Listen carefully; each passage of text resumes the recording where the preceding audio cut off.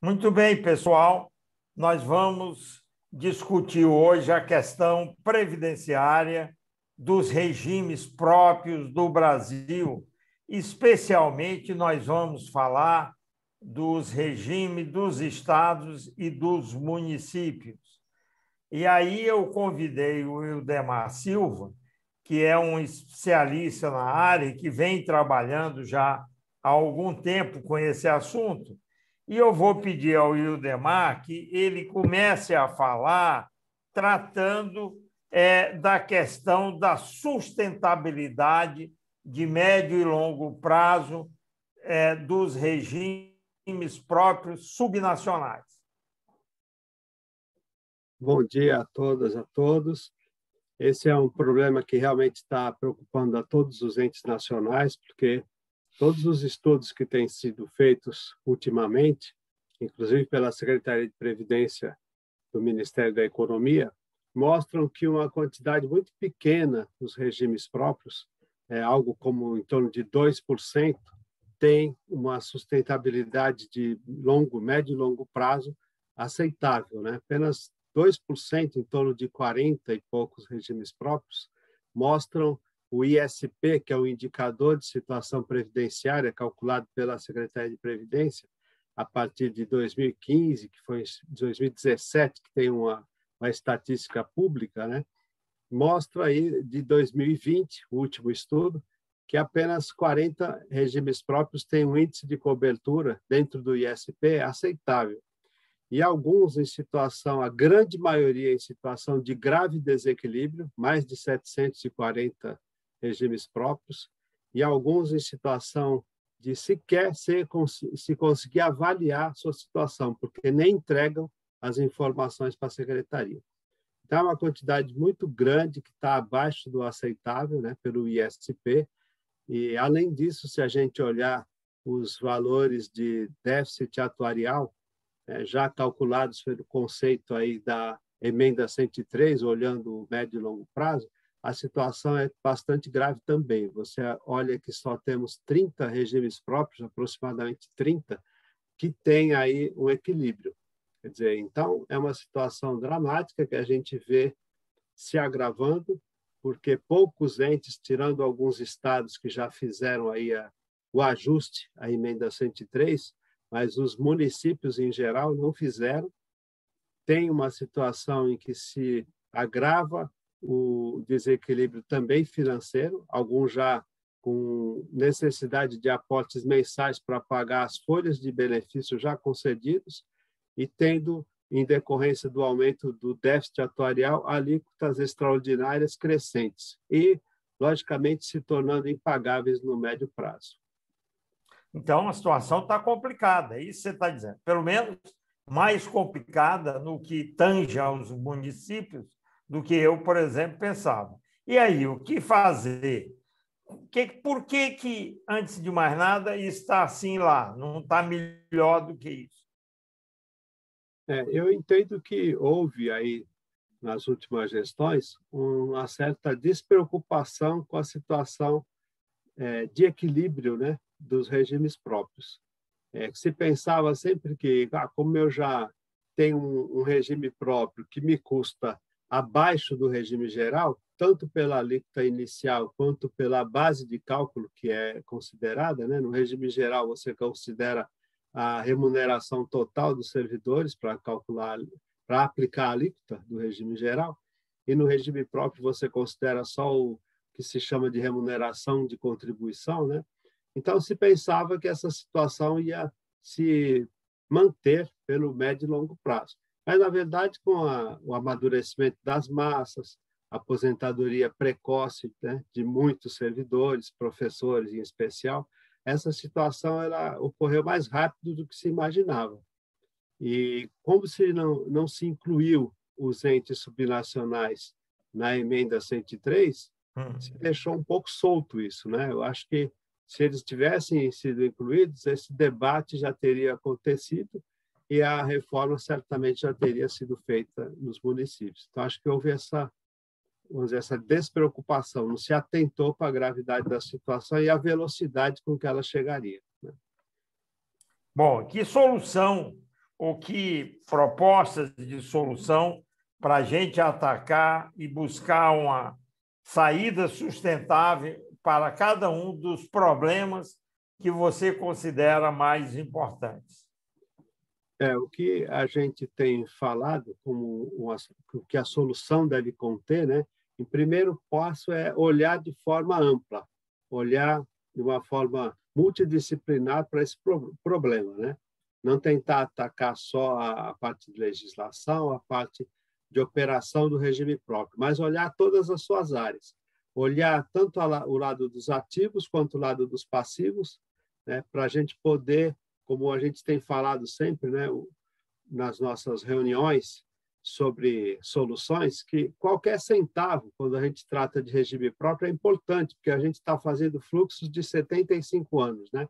Então a gente tem que olhar se o que a gente está gastando, o que a gente está pagando está correto, quer dizer, vamos olhar se as minhas despesas estão sendo feitas de forma qualitativa, né? se a gente está gastando bem, ou se eu posso economizar, por exemplo, na concessão dos benefícios, se eu estou arrecadando adequadamente, quer dizer, eu estou cobrando exatamente a contribuição que eu deveria cobrar, tanto do ente quanto dos servidores.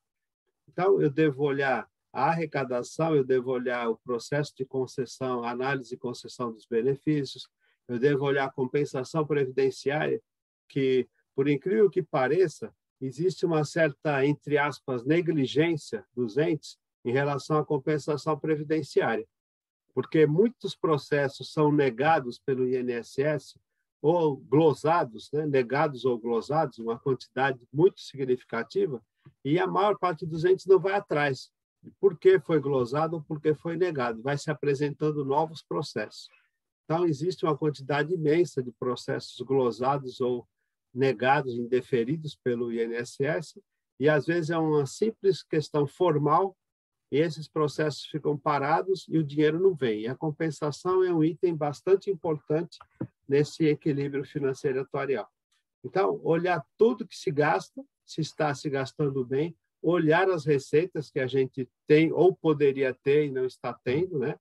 E a partir disso, olhar alternativas para, feito tudo isso, né, esse ajuste, vamos dizer, operacional, é, a gente fazer um estudo de casamento, né, de gerenciamento casado dos ativos com os passivos, quer dizer, eu tenho já a segurança dos meus compromissos futuros, né, eu já fiz uma reforma, vou ajustar minha legislação a realidade atual, porque a gente brinca sempre, tem muita coisa de plano de cargos e salários, estatuto de servidor, que foi feito em época de vacas gordas, né? Hum. Algumas gestões passadas. E agora nós estamos já, desde 2015, em época de vacas magras, e pelo que se vê aí nas projeções, vai continuar por um bom tempo, né?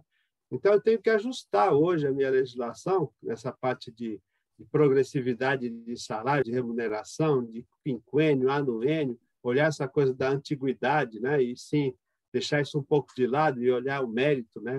Aplicar de fato uma meritocracia, ajustar essa parte da remuneração e da progressividade da carreira do servidor para a realidade atual, para a conjuntura que a gente tem que deve permanecer, que isso também afeta diretamente o valor dos benefícios, né? Fazendo esse ajuste todo de legislação, salário, remuneração, receitas e despesas, aí sim eu faço de novo os meus cenários atuariais, os cálculos, e vejo qual é o tamanho do meu déficit e vou procurar soluções dentro do que a lei permite. Em especial, né, feito esses ajustes, os ativos que eu posso aportar né, para que essa, esse valor né, de déficit seja ou equacionado na íntegra ou trazido para um valor que a alíquota extraordinária que resultar dele seja pagável, né, seja uhum. sustentável no longo prazo. Pois é, mas então, pelo que você está dizendo, e tudo isso que você falou até agora, sinalizam é, situações bastante complicadas e soluções que não são muito simples. Você acha, assim, tem como atribuir essa dificuldade a questões assim gerenciais, a questões de é, dificuldades de, de tocar esse barco, especialmente dentro dos municípios, os municípios menores, ou é uma questão realmente puramente financeira? Então, eu acho que você tocou num ponto certo. É a questão dos municípios, né? A gente vê uma grande dificuldade, primeiro na falta de recursos humanos, né? Os municípios eles não têm nos seus quadros pessoas preparadas para avaliar esse problema, fazer o seu diagnóstico mais preciso, né? E pensar nessas soluções. Existe também a falta de cultura previdenciária, né? Nos municípios. Então, a gente vê que o sistema de fundos de pensão, por exemplo, que é bem mais antigo, né, foi uhum. regulamentado a partir de 77, ele já conseguiu criar no seu sistema pessoas profissionais, né, qualificados, experientes, que muitos aprenderam é, sofrendo, né, aprenderam na prática, buscando conhecimento, buscando soluções. E o nosso sistema de regimes próprios, por ser muito novo, hum. né, ele ainda não chegou nesse ponto. Mas a gente vê um esforço grande aí das associações, da, da CNM, por exemplo, da ABPEM, da ANEPREM, hum. buscando capacitar essas pessoas, formar quadros para que pelo menos a gente consiga entender o problema, né? E a partir daí buscar nas consultorias, enfim, na, nas, nas empresas especializadas que trabalham nesse setor, buscar no próprio governo, né, na Secretaria de Previdência, que tem muita gente preparada para orientar, pelo menos, né, hum. na busca desse caminho. Mas, sem dúvida, eu acho que a falta de cultura previdenciária, a falta de pessoas qualificadas pela pouca idade do sistema e a falta também de muitos profissionais na área de consultoria, né, preparados para isso, dificulta um pouco o processo, sem dúvida nenhuma. Tá. Agora, você vê a, com algum otimismo a possibilidade de se desenhar um programa de previdência sustentável e, posteriormente, é, eu estou me encaminhando para o final da nossa conversa, posteriormente, é, colocar esses programas, essas ideias novas em prática e conseguir um, a, a obtenção de um espaço maior para o ente público investir ou fazer outros gastos que sejam relevantes para cada um? Eu acho, eu sou otimista, assim, eu acho que há um espaço grande. Eu acho que esse enfoque, né, que o INAI tem dado de se olhar essa grave consequência do crescimento do déficit previdenciário, do custo previdencial para os entes, né, que é a incapacidade né, de investir, é acabar a capacidade de investimento, que já hoje já é muito pequena, como você muito bem tem mostrado aí uhum. nas reuniões. Né? Eu acho que isso tem ajudado muito a despertar, principalmente nos gestores, nos prefeitos, o interesse de resolver a questão previdenciária. E o que a gente vê é que existe uma ansiedade grande né, de, de entender o problema entender quais seriam as soluções possíveis. Eu sou muito otimista na, nessa questão do interesse que os entes vão, vão ter, né, que os municípios em especial vão ter, porque em todas as reuniões que a gente vai, quando a gente fala, às vezes, coisas básicas, por exemplo, você já fez um censo cadastral? Muita gente não sabe nem o que é. Não hum. sabe nem que existe uma orientação que tem que fazer um recadastramento, um censo, pelo menos de cinco em cinco anos, que é uma orientação da secretaria. É, muita gente não sabe, por exemplo, que está aí na emenda 103 uma obrigação de criar a previdência complementar para os seus servidores até novembro, que já está aí. Né? Hum. Nós estamos em maio. Até fala um pouco sobre isso, por favor, sobre a previdência complementar. Pronto, existe aí uma necessidade que foi é, colocada na emenda 103 como uma obrigação de todos os entes que possuem regime próprio de criar a previdência complementar e disponibilizá-la para os seus servidores, a partir de dois anos da promulgação da emenda. A, emenda foi promulgada em novembro de 2019, né? então nós temos agora novembro de 2021 como prazo. O que, que ela fala? Se eu, eu tenho regime próprio, mas não tenho nenhum servidor que tem uma remuneração superior ao teto do regime geral, que é em torno de R$ 6.400, basta eu criar em lei né, o regime de previdência complementar, ou seja, hum. o município vai passar a ter dois regimes previdenciários, né? Vai ter o regime próprio de previdência social, o RPPS, e o regime de previdência complementar, o RPC. O ente vai criar. Hum. E na hora que ele tiver algum servidor com a remuneração acima do teto, ele vai ter que aderir a um, um, uma entidade multipatrocinada de previdência complementar ou a um plano de previdência complementar, né? porque a lei fala que só quem tiver mais de 10 mil servidores que estejam enquadrados nessa condição de remuneração acima do teto, que pode criar uma entidade. Isso é a minoria. Né? Então, quem não tem é, servidor hoje com remuneração acima do teto do regime geral, basta criar em lei. Quem já tiver, seja um ou dois servidores com remuneração acima do teto, além de criar em lei, tem que disponibilizar um plano de previdência complementar para os seus servidores já em dois, novembro de 2021. Então, seria essa. É, e muita gente não sabe. Você vai fazer uma reunião com os municípios e muita gente nem sabe que existe essa obrigação. Quer dizer, a falta de informação ela é um, um problema seríssimo, né? Então, acho que o nosso papel também é muito isso, sair é, transmitindo, né, divulgando essas informações, esses modelos que a gente tem estudado tanto aí. Pois é, mas isso aí não ajudaria o município? Reduziria a, as suas despesas, seu déficit, enfim? Ajuda muito, porque ela não resolve, por exemplo, quem tem problema de déficit financeiro, quem já não está conseguindo pagar a folha de benefícios concedidos. A Previdência Complementar não ajuda esse caso, mas ela ajuda a médio e longo prazo, porque ela vai criar o teto, né? mesmo para aquele servidor que entrar após essa existência né, da Previdência Complementar, ele não quiser aderir, ele não é obrigado a aderir, ela é opcional. Mas, a, a, apesar de ele não aderir, o regime próprio vai restringir o teto do benefício dele ao teto do INSS. Então, ela vai sim, vai, ela vai baixar a curva né, para os novos servidores dessa, desse crescimento do déficit atuarial médio e longo prazo. Então, ela é muito útil, muito importante e muito benéfica. Né? Ela é salutar hum. para o servidor também. Para encerrar, eu ia lhe perguntar sobre outros projetos similares no Brasil e no exterior que você acha que poderiam nos ajudar, dando exemplo? Tá. Eu, gosto sempre de falar, quando a gente fala de previdência de servidor, citar aqui no mundo, né, quando a gente pega. Recentemente eu peguei uma, uma estatística aí, os maiores, os 20 maiores fundos de pensão do mundo, né?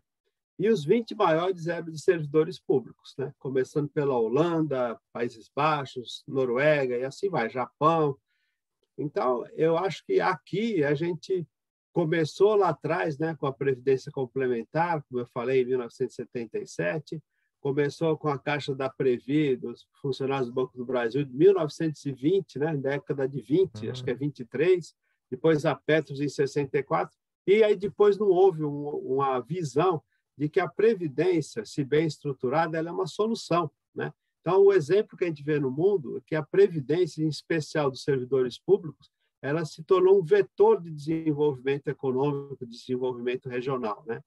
E aqui eu acredito que você, organizando, né, com essa questão de equacionamento do déficit atuarial, é, solucionando essa, esse problema dos regimes próprios, implantando a previdência complementar de forma capitalizada, como ela é, né? A gente tem hoje um trilhão de reais dos fundos de pensão fechados hum. e quase dois trilhões se a gente considerar as abertas também de previdência. Então, é certamente pode ser um vetor de desenvolvimento, né? Aqui a gente tem algumas experiências de alguns estados e municípios que já começaram a implantar poucas, na verdade, experiências, né? Mas que já começaram a implantar, né? A gente tem estado de Mato Grosso, Goiânia, Rio de Janeiro com alguma coisa, alguns municípios no sul, né, é, que estão estamos fazendo, o estado do Piauí que fez primeira reforma da previdência, agora está fazendo essa solução, implantando essa solução de equacionar uh, o déficit com aporte de ativos, né?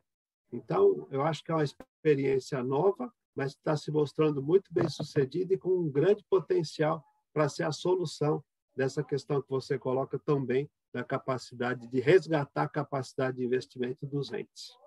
Pois é, eu acho que essa era a mensagem final que eu queria ouvir de você, e a partir desta e de outras discussões que eu pretendo conduzir aqui no Fórum Nacional, nós vamos tentar é, buscar caminhos que nos tirem dessa situação de estrangulamento financeiro agudo que há hoje no setor público em geral e nos entes subnacionais em particular. Agradeço muito a sua disposição de vir falar conosco e espero que a gente volte a tratar disso em, em pouco tempo, principalmente aqui no âmbito do Fórum Nacional. Muito obrigado, e o Demar, e até a próxima, então. Eu que agradeço a oportunidade e até a próxima, se Deus quiser.